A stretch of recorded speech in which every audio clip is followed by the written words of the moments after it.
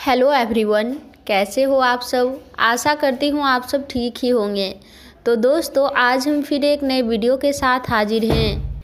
आशा करते हैं आपको ये वीडियो बहुत ही पसंद आएगी। तो दोस्तों, वीडियो को अंत तक ज़रूर देखें।